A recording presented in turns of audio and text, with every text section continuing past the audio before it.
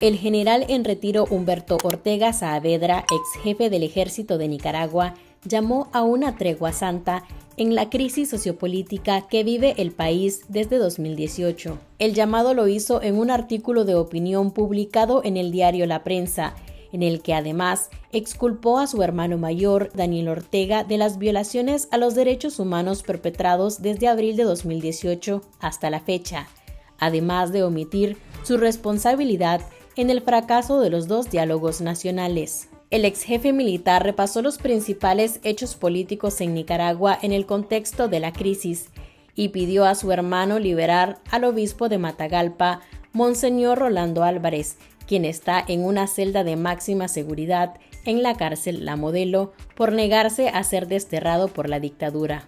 Humberto Ortega omitió en su columna las revelaciones del informe del Grupo de Expertos de Derechos Humanos de la ONU para Nicaragua, que confirmó los crímenes de lesa humanidad cometidos en el país y responsabilizó de ellos a la pareja dictatorial de Daniel Ortega y Rosario Murillo. Lea la noticia completa en confidencial.digital.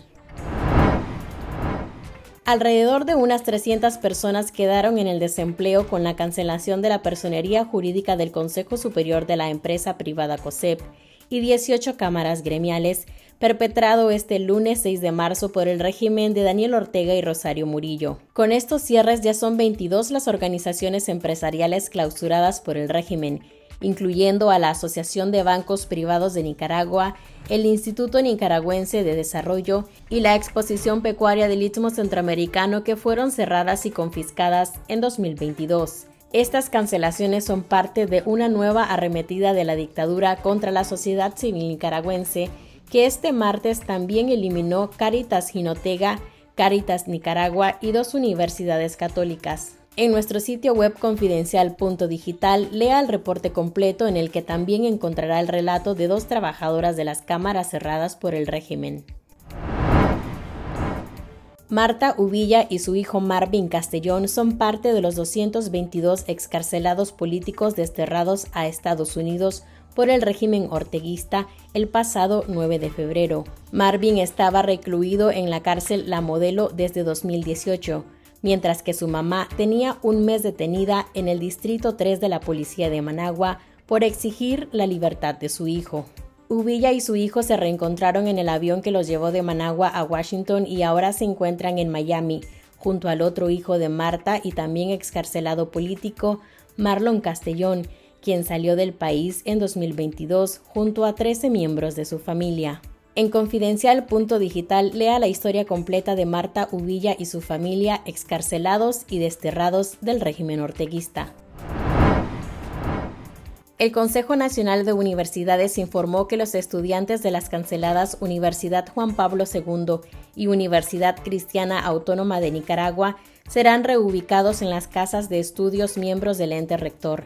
El Ministerio de Gobernación canceló este martes la personería jurídica de estas universidades ligadas a la Iglesia Católica y ordenó la confiscación de sus recintos. La Universidad Juan Pablo II comunicó a sus estudiantes que recibió la noticia con mucha sorpresa y tristeza y que estaba atenta a las orientaciones gubernamentales para la transición. El Instituto Global de Mujeres anunció la entrega del Premio Defensoras de la Justicia a las 33 excarceladas políticas desterradas por el régimen de Daniel Ortega y Rosario Murillo.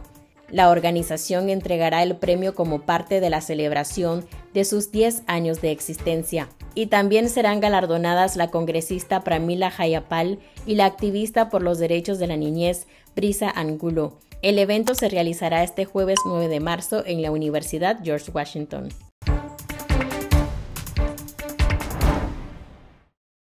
Gracias por ver este video para seguir derrotando la censura en Nicaragua.